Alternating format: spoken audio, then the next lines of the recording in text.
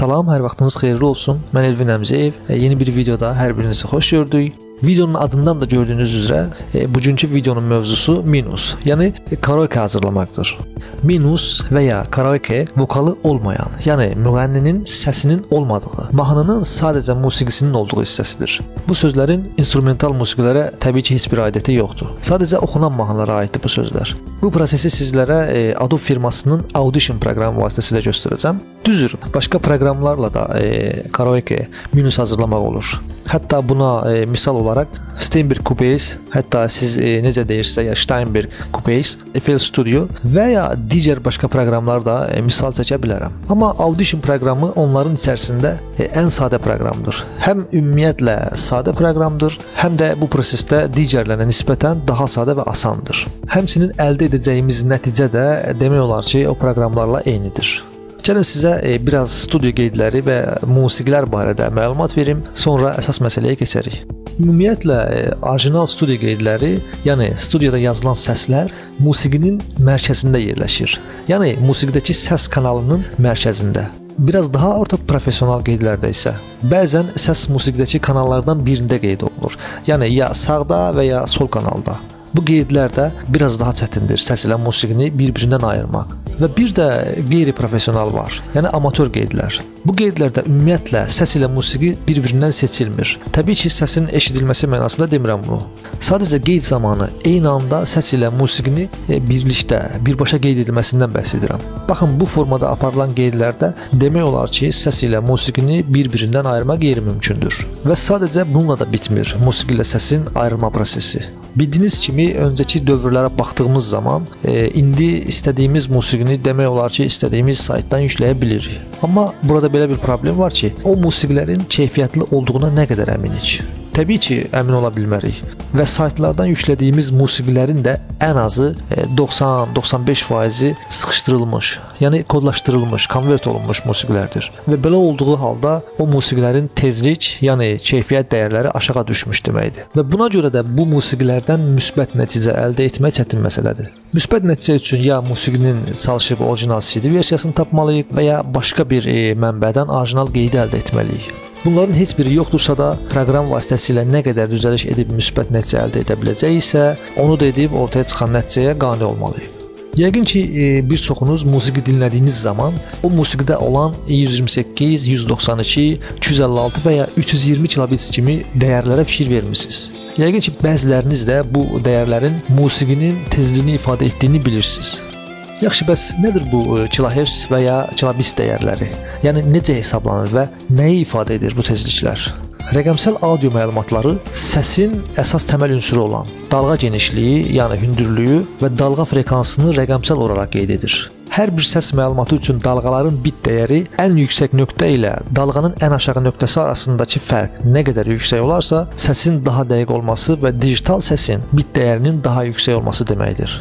Məsələn, 16 bit e, 44 kHz rəqəmsal audio 8 bit e, 22 kHz səsdən təbii ki, daha dəqiq bir nəticə verir və qeyd zamanı daha kiçik detallar daha yaxşı eşidilir. Kilobit kilobayt per second deməkdir və saniyədə ötürülən səsin kilobayt, yəni məlumat ötürülməsini və səsin tezliyini ifadə edir. Gəlin sizə belə deyim. 16 bit 44 kHz və ya 8 bit 22 kHz ilə 192 kilobit və ya 128 kilobit ifadələrindəki bit, kilobit dəyərləri eyni şeyi ifadə etmir. Misal üçün, bir musiqinin tezlik dəyəri, yəni kilobits olaraq hardasa belə hesablanır. Kilobits dəyəri hər hansısa bir musiqi oxuyucusunda səs qeydini dinləyərkən 1 saniyədə ötürülən, yəni oxunan məlumat miqdarıdır. Yəni 1 saniyədə 128 kilobitlik bir məlumat qeyd olunduğu qurğudan oxunaraq prosessora, yəni əsas mərkəzə gəlməlidir. Digər bir ifadə ilə isə 128 kilobit olaraq qeyd olunmuş bir MP3 faylı üçün düşünsək, bu fayl 1 saniyəlik bir səs üçün 128 kilobit, yəni 16 kilobayt deməkdir. Lori dildə desək, 128 kilobit bir musiqinin saniyədə ötürdüyü məlumat həcmi 16 kilobaytdır. Yəni bu kilobit dəyəri nə qədər çox olsa, ötürülən məlumat həcmi də bir o qədər çox olar və təbii olaraq dinlədiyimiz musiqi də daha keyfiyyətli və daha detallı eşidilər. Bir şey də qeyd edim ki, 128, 192, 256 və ya 320 kilobit tezlikdə olan bir musiqi arasındakı fərqi mobil telefonda adi bir qulaqlıqda və ya adi bir playerdə hiss edə bilmərik. Bunun üçün yüksək tezlikləri oxuya bilən səs dinamiklərinə ehtiyacımız var. Siz özünüz bunu müqayisə etmək istəsəz, mobil telefonda 96 kbit ilə 128 kbit tezlikdə olan musiqilər arasındakı fərqi müqayisə edə bilərsiniz. Bilirəm yenə də biraz e, çox danışdım, amma istəmirəm ki, bu işin təməlini, məntiqini bilmədən nə isə edəsiz. Deyirəm heç olmasa bunu etməsəniz belə bu proses barədə məlumata sahib olasınız. Nəysə, söhbəti daha da uzatmadan keçək əsas məsələyə. Gəlin sizə e, bu gün istifadə edəcəyim e, mahnını göstərim, musiqini göstərim. Əvvəlcə bu musiqini biraz dinləyin, sonra keçəcəyik prosesə.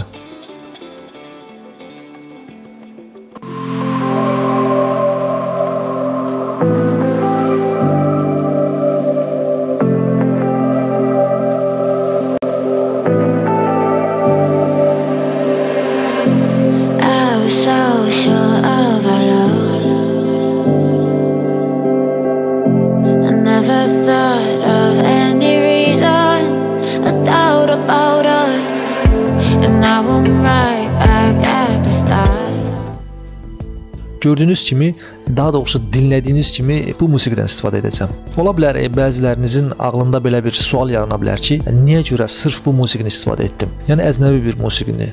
Bunun səbəbi YouTube-da olan müəllif hüququ məsələləri ilə bağlıdır. Yəni YouTube sizə özünüzə aid kontent yaratmağınızı şərt qoyur. Bu da o deməkdir ki, başqa şəxslərə aid musiqi, video və ya şəkilləri istifadə edə bilməzsiniz.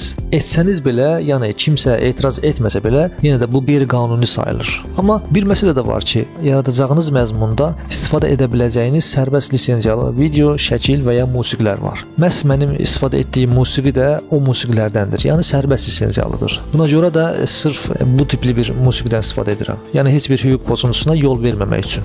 Nəysə, gəlin proqramımızı işə salaq və keçək prosesə. Deməli, proqramı istəsəniz birbaşa ekrandan burdan da işə sala bilərsiniz və ya istifadə edəcəyiniz musiqini gətirib birbaşa o proqramın üzərinə də ata bilərsiniz. Belə etdiyiniz zaman proqram birbaşa e, necə deyirlər, o musiqini birbaşa öz e, iş masasına əlavə edəcək. Musiqimiz düşdü. İlk öncə e, bunu bir dinləyək, görək. Burada hər şey qaydasındadır ya yox. Bəli. Deməli, ilk öncə nə etmək lazımdır? Burada e, istəsək e, musiqinin bütün hissəsinə eyni prosesi e, edə bilərik, amma sonra başqa bir proqramda kəsib birləşdirə bilərik və ya proqramın özündə də edə bilərik. Bunun üçün nə etmək lazımdır? Bu biraz daha e, vaxt aparan prosesdir, amma çətin bir proses deyil. İlk öncə musiqinin e, oxunan hissəsini, yəni müğənninin səsinin olan hissəsini e, tapaq görək hardan başlayır.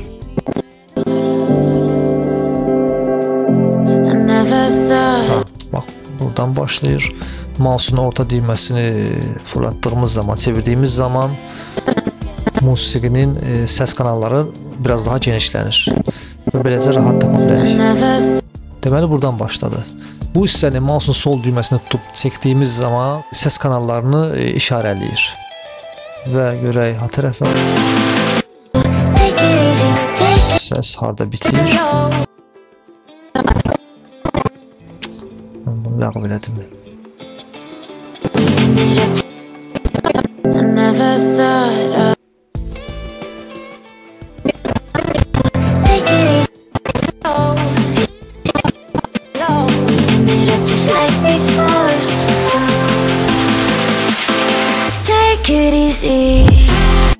Ha, burada bitir bu hissəni sadəcə e, daha doğrusu bu hissənin sadəcə səs hissəsini ləğv etmək istəyirik. Bunun üçün yuxarıda bu hissə və ya musiqi hamısı seçilikən yuxarıdan effekt bölməsinə gəlirik və aşağıda stereo imager bölməsi var. O bölməni açıb center channel extractor bölməsini açırıq və qarşımıza kiçik bir pəncərə çıxır. Bu pəncərədə yuxarıda preset bölməsini açıb ən aşağıda vocal remove seçimini edirik. Və bu seçimi etdikdən sonra demək olar işimiz bitir. Yəni bütün proses bundan ibarətdir. Sadəcə e, bəzi burada əlavələr, daha doğrusu manual edə biləcəyiniz bəzi şeylər var. Onlar da təbii ki, sizin istifadə etdiyiniz musiqi növünə görə fərqlilik təşkil edəcək. Buradan istəsəniz musiqinin yerləşdiyi, daha doğrusu səsin, səs kanalının musiqinin hansı hissəsində yerləşdiyini özünüz manual olaraq seçə bilərsiniz.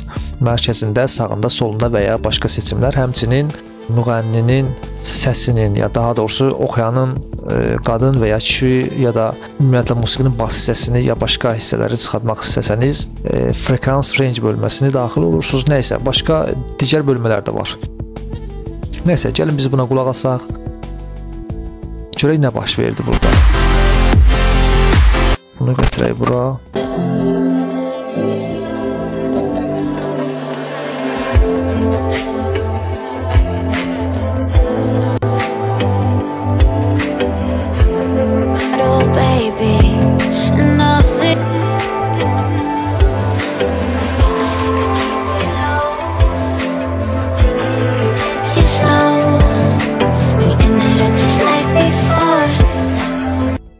Gördüyünüz kimi bütün proses bundan ibarətdir sadəcə.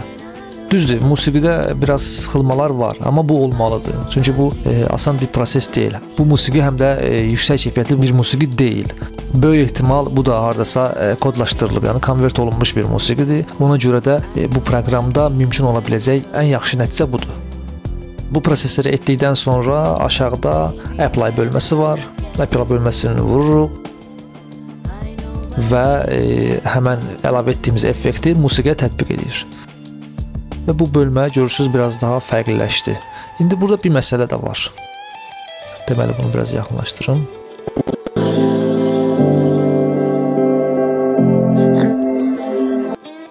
Gördüyünüz kimi bu prosesi yerinə yetirdiyimiz bu musiqinin hissəsi biraz daha fərqləndi bundan. Çünki səs biraz sıxıldığına görə digər tərəfdən seçildi. Təkrar qulaq asaq. Musiqini biraz daha e, dollaşdırmaq üçün, biraz daha səsini yüksəltmək üçün həmin bölmə seçilikən effekt bölməsinə təkrar daxil oluruq və yuxarıda, daha doğrusu ortalarda bir yerdə filter and equalizer EQ bölməsi var burada. Bu bölməyə daxil olub sağ tərəfdə açılan bölmədən parametrik equalizer bölməsinə daxil oluruq və qarşımıza yenə kiçik bir pəncərə çıxdı. Burada bu preset nəyə görə belədir? Bunu default eləyək. Bu musiqidə bas S və digər dəyərləri dəyişmək üçün olan bir effektdir. Yəni equalizerdir. Musiqinin dəyərlərini artırıb azaltmaq üçündür. Səs, bas və ya S dəyərlərini. Musiqiyə qulaq asaq görək burada nə fərqlənir.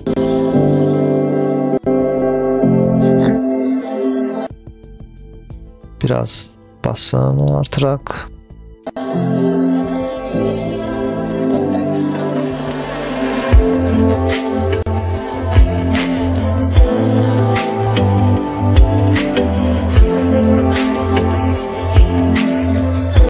Mən bu işləri adətən e, Vegas proqramı vasitəsilə edirəm. Audition-la sadəcə e, musiqinin oxunan hissəsini və ya digər e, kiçik prosesləri etmək üçün istifadə edirəm. Amma e, bunu ən azından sizə göstərirəm ki, ola bilər ki, sizdə Vegas proqramı olmaya da bilər. Deməli, bunu biraz dəyişdik. S dəyərlərini də biraz artıraq.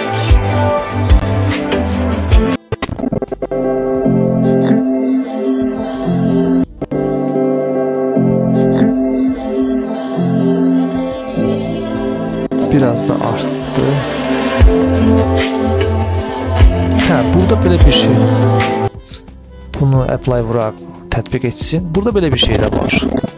Səsi ümumiyyətlə bu həmən seçilmiş bölmədəki səsi artırmaq üçün bu yuxarıda balaca pəncərədə sol tərəfdə gördüyünüz belə bir bölmə var. Yəni xətt formasında göstərilib. Bunu mausun sol düyməsi ilə tutub sağ tərəfə çəkdiyiniz zaman səs kanallarının genişlədiyini görə bilərsiniz. E, Musiqinin səsini artırıb azaltmaq üçün istifadə edə bilərsiniz. Nəysə, dinləyək, görək nə baş verdi.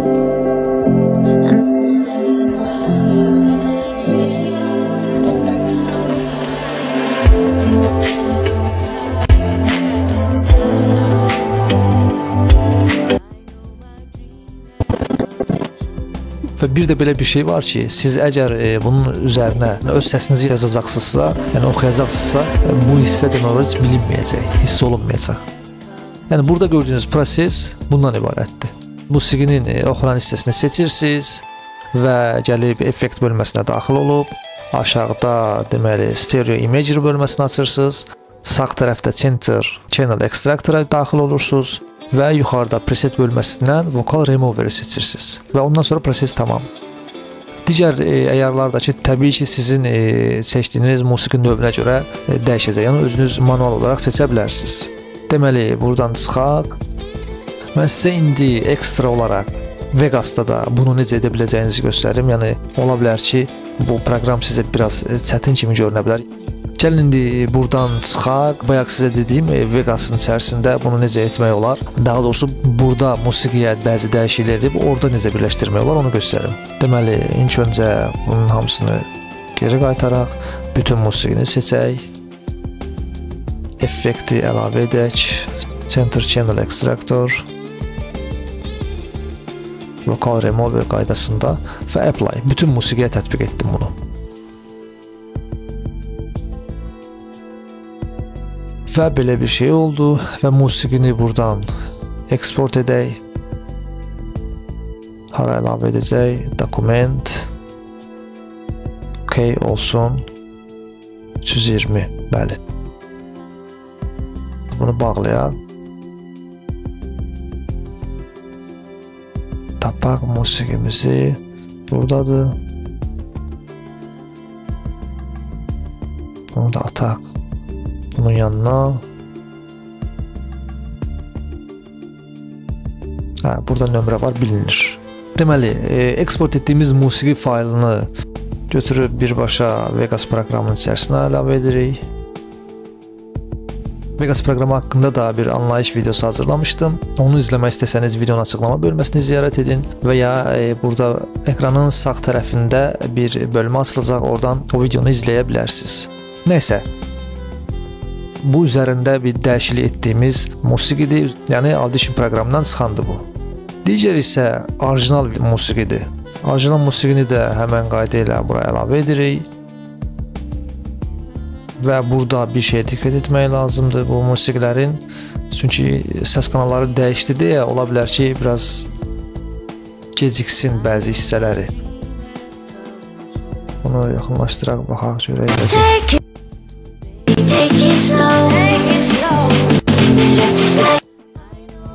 Deyəsən biraz gecikmə var. Çəkək bura. Musiqilər ikisi də bir yerdə olduğu üçün belə bir səs çıxır burdan. Yoxsa belə olmalı deyil. Baxaq görək. Bəli. Biraz da getməlidir. Hı, deməli. Altdakı orijinal musiqidir, yuxarıdakı isə üzərində dəyişiklik etdiyimiz musiqidir. Nə etmək lazımdır? Bizə burada lazım olan birin e, orijinal musiqinin musiqi hissəsini saxlamaq, digərinin də səs hissəsini, e, daha doğrusu səsini çıxartdığımız hissəyi, hissəni saxlamaqdır. Deməli, necə edirik? Musiqi hardan başlayır? İlk öncə tapaq.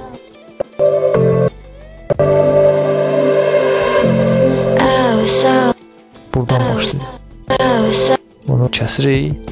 S hərfi ilə yuxarıdakının bizə musiqi hissəsi lazım deyil, onu silirik. Aşağıdakı hissədən də səs hissəni kəsirik.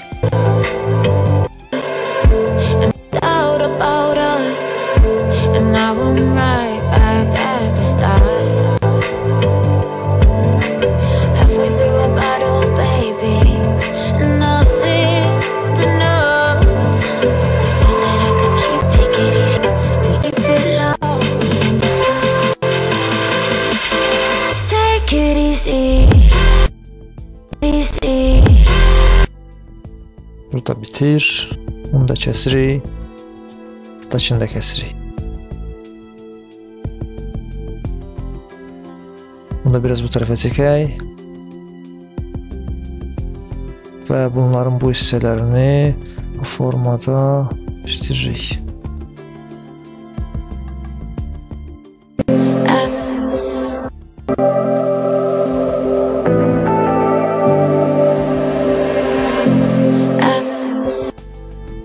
Biraz arxaya getməlidir.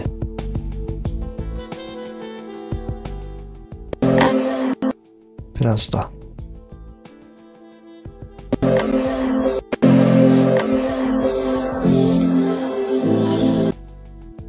Bu qayda ilə kəsmək lazımdır. Bu hissə də belə. Bu prosesi bütün musiqi üzərində etməyəcəm, çünki biraz vaxt aparacaq bu proses. Yəni əsas burada gedişatdır.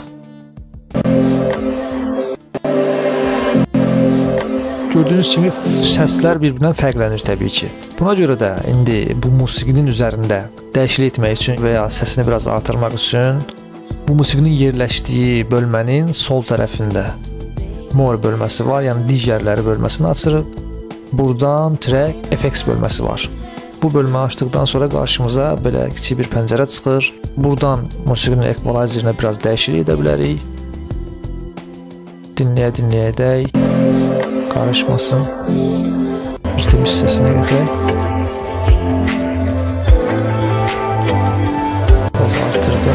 Biraz da S.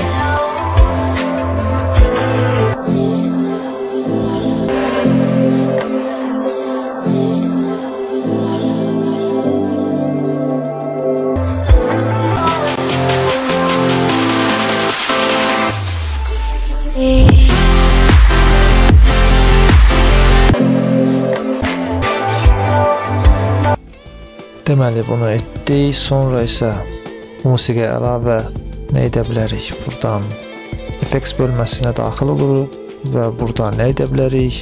Deməli qrafik equalizer qrafik dinamik əlavə edək. Musiqinin biraz daha səsin artıraq.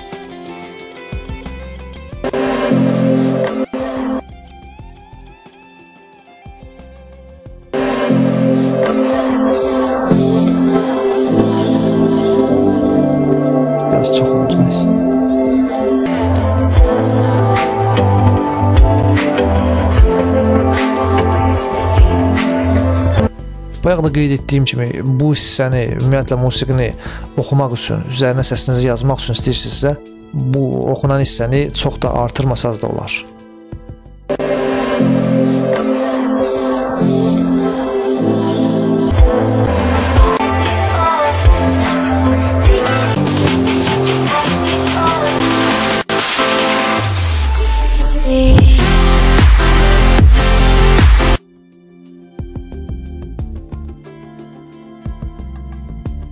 Və bu musiqini burdan çıxış vermək üçün mouse'un sol düyməsini aşağı hissədə 2 dəfə vurursunuz.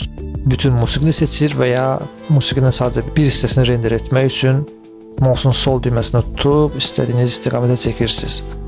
Sonra fayl bölməsinə daxil olursunuz. Render as və biraz gözləyirik.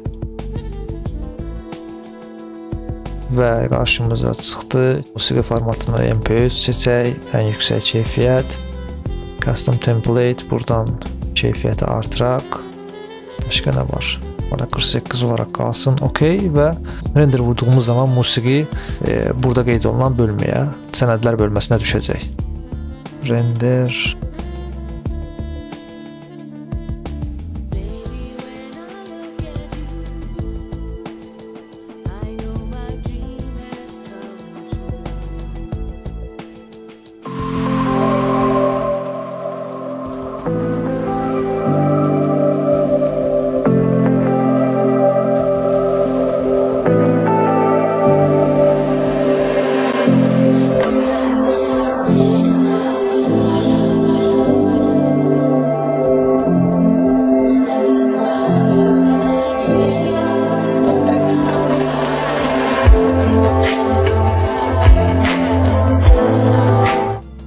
Gördüyünüz kimi bütün proses ondan ibarət idi. Çox rahat və sadə. Videonun əvvəlində də qeyd etdiyim kimi e, bu əməliyyatı etmək üçün başqa proqramlar da var. Amma buna nisbətən onlar biraz çətindir. Harsa nəticələri eynidir. Və bu proqramla da əldə edə biləcəyimiz ən yaxşı nəticələrdən biri də budur. Və yenə qeyd etdiyim kimi musiqi də e, keyfiyyətli musiqi deyildi. Əgər bu sizi qane edirsə, eyni qaydaları tətbiq edərək siz də e, özünüz minus karaoke hazırlaya bilərsiniz. Nəsə bir çətinliyiniz olsa bu proqramı əldə etmək barədə e, və ya bu əməliyyatı yerinə yetirmək barədə videonun şərhlər bölməsinə qeyd edə bilərsiniz. Nəysə, videonu bitirirəm. Özünüzə yaxşı baxın. Sağ və salamat qalın.